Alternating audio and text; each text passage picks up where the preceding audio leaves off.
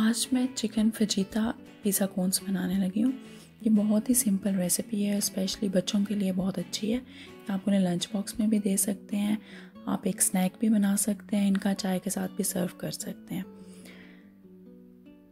अगर आप चैनल को फ़र्स्ट टाइम विज़िट कर रहे हैं तो प्लीज़ सब्सक्राइब ज़रूर करें।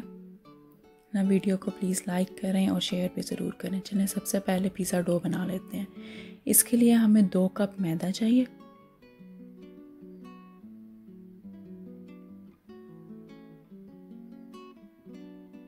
इसके अंदर मैं शामिल कर रही हूँ एक टीस्पून नमक, दो tablespoon dry yeast add कर रही हूँ और एक टेबल स्पून चीनी।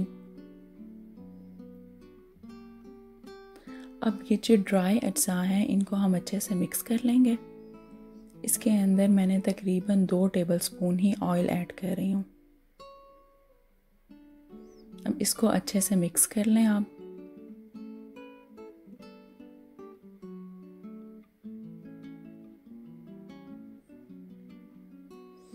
अब इसके अंदर आप वक्फे वक्फे से पानी शामिल करते जाएँगे साथ साथ आप डो को मिक्स करते जाएँगे। अब डो हमें बहुत ज़्यादा थिक भी नहीं चाहिए और बहुत ज़्यादा नरम भी नहीं चाहिए।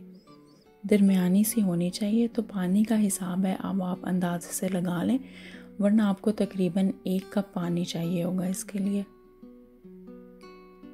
बस इकट्ठे सारा पानी शामिल ना करें बिल्कुल भी। थोड़ा थोड़ा शामिल करते रहें जैसे नॉर्मली आटा गूंदते हैं। उस तरीके से आप इस डो को बना लें। अब डो हमारी बन गई है, इसके ऊपर मैंने एंड पे थोड़ा सा ऑयल लगा दिया है। और ये देखें, डो इस तरह की होनी चाहिए कि आप हाथ में लगाएँ तो वो चिपक रही हो। बहुत ज़्यादा सख्त नहीं होनी चाहिए। अब इसको हम किसी भी चीज़ से कवर करके तकरीबन तीन चार घंटे के लिए रख देंगे ताकि वो फूल जाए। पिज़्ज़ा सॉस बनाने के लिए मैंने थोड़ा सा प्याज चॉप कर लिया दो गार्लिक क्लोव्स लिए हैं, उसको बारीक बारीक मैंने कुतर लिया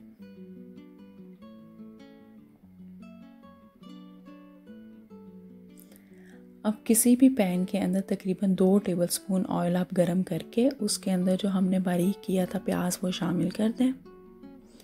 अब प्याज थोड़ा सा जब गोल्डन होने लग जाए, अपना रंग तब्दील करने लगे, अब आप इसके अंदर लहसन शामिल कर देंगे। इसको आप हिलाते रहें थोड़ी देर के लिए, तकरीबन दो से तीन मिनट के लिए। अब मैंने एक ब्लेंडर के अंदर टमाटर ऐड किए हैं, तकरीबन तीन टमाटर ले लिए हैं। इसको आप टमाटर जो बाज़ार से पेस्ट मिलता है, वो भी शामिल कर सकते हैं। थोड़ा सा पानी तकरीबन मैंने इसके अंदर चौथाई कप शामिल कर दिया और इसको सही से आप ब्लेंड करके फ़ौरन से इस वाले प्याज और लहसुन के मिक्सचर के अंदर आप ऐड कर दें। अब इसके अंदर मैंने दो टेबल स्पून ही टमाटो पेस्ट शामिल किया है। हाफ़ टी स्पून नमक।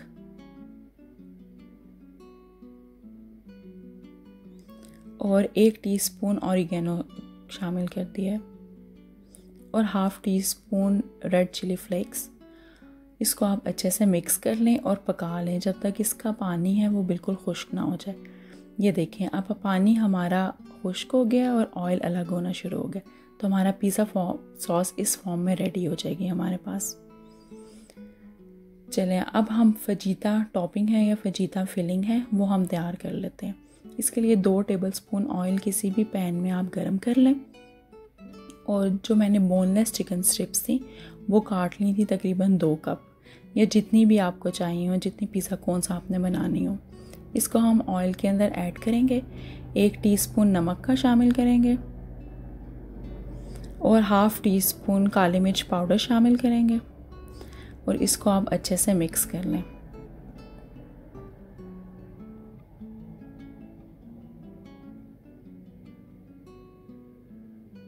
अब देखें, चिकन ने अपना रंग है, तब्दील करना शुरू कर दिया है। एक टीस्पून मैंने लहसुन पाउडर शामिल कर दिया है इसके अंदर।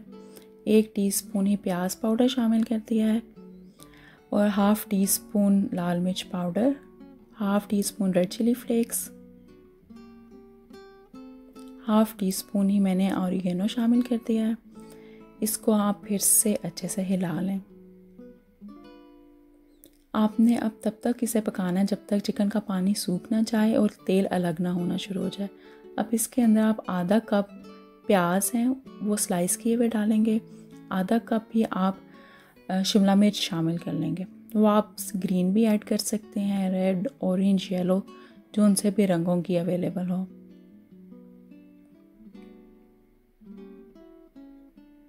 इसको आप तकरीबन दो मिनट के लिए तेज़ आँच पे पकाएँ और फ़ौर आप चूल्हा बंद कर दें। शिमला मिर्च को हमने बहुत ज़्यादा इसके अंदर गल के सॉफ्ट नहीं होने देना। अब जो हमने अपनी पिज़्ज़ा डो शामिल की थी, वो देखें, बहुत अच्छी फूल गई है, तकरीबन तीन से चार घंटे में जो हमने इसको गर्म जगह पे रखा था। अब इसके अंदर मैंने थोड़ा सा और मैदा शामिल करके इसे बाउल में से अलग किया है। मैदा इसलिए मैंने हाथों को लगाया ताकि वो हाथों को चिपके ना।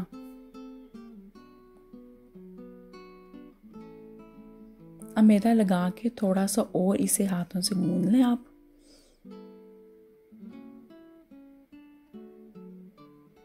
अब बॉल से निकाल के एक किसी भी सरफेस पे रख लें जिसने जिस पे भी आपने इसे बेलना है।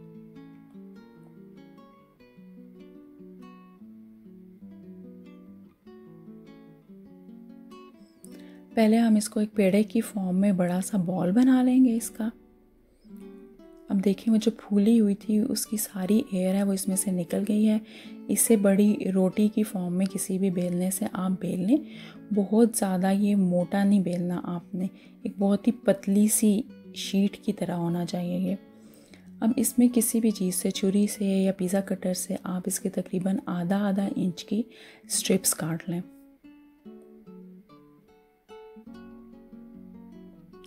अब ये स्ट्रिप्स काटने के बाद मैंने स्टेनलेस स्टील की स्टील की ली हैं कोन्स आप इसकी जगह एल्यूमिनियम फॉयल भी इस शेप में आप ला के किसी चीज़ से वो इस्तेमाल कर सकते हैं। इसको मैंने पहले ऑयल से स्प्रे किया उसके बाद स्ट्रिप्स इसके ऊपर मैंने लपेट ली हैं। देखिए, एक स्ट्रिप किस तरह से दूसरी के ऊपर आ रही है कि दरमियान में गैप ना आए कोई भी। एक ख़त्म होने के बाद मैंने दूसरी स्ट्रिप इसी तरीके से इसके ऊपर लपेटना शुरू कर दिया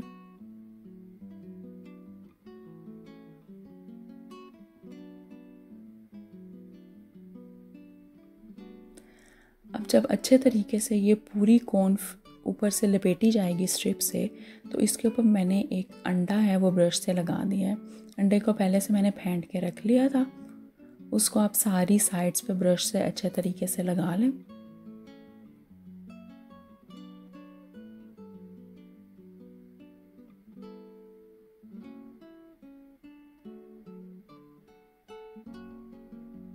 जितनी भी कौन सा बना ले हैं, उन सब को फेंटे हुए अंडे से आप कवर कर लें। ब्रश नहीं है तो आप इसे हाथ की मदद से भी लगा सकते हैं। अब इसको मैंने तकरीबन ओवन पहले से हीट अप कर लिया था 180 डिग्रीज पे। इसको 15 मिनट के लिए आपने उसके अंदर बेक कर लेना है। बहुत ज़्यादा बेक नहीं करना क्योंकि हमने फिलिंग के बाद उसे दोबारा बेक करना है। अब जो फिजीता फिलिंग थी मेरी, मैंने एक कप वो लेके उसके अंदर दो टेबल स्पून पिज़्ज़ा सॉस शामिल किया जो कि हमने पहले बनाई थी। वन बाई फोर कप इसके अंदर मैंने चेडर चीज़ शामिल कर दी है। One by four cup mozzarella शामिल की है। मोज़रेला से ये होता है कि अच्छी लेस आ जाती है पिज़्ज़ा में। आप पिज़्ज़ा मिक्स भी यूज़ कर सकते हैं। इसको अच्छे तरीके से हमने मिक्स कर लिया। कौन हमने ओवन से रिमूव करके उसे थोड़ी देर ठंडा होने के लिए रख देना है। अब जब हमारी कोन्स रूम टेम्परेचर पे आ जाएँगी तो उसके अंदर से बहुत आराम से आपने फॉयल की कोन्स हैं, हल्का सा हिलाएँ और रिमूव कर लें, ताकि आपकी कोन्स टूटे ना। अब ये मैंने सब में से ये जो है कोन्स वो रिमूव कर ली हैं। अब जो मेरी फजीता फिलिंग थी, वो मैं इन कोन्स के अंदर फिल कर लूँगी। आपने अच्छे तरीके से उसे स्टफ़ कर लेना इसके अंदर।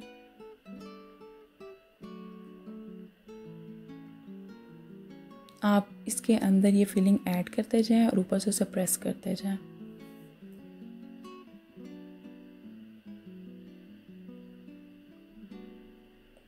इस तरीके से ही मैंने सारी कोन्स को फिल करके रख लिया है और ओवन के अंदर दोबारा से दो से तीन मिनट के लिए इसको बेक कर लिया है ताकि चीज़ मेल्ट हो जाए। ये हमारी रेडी है अब।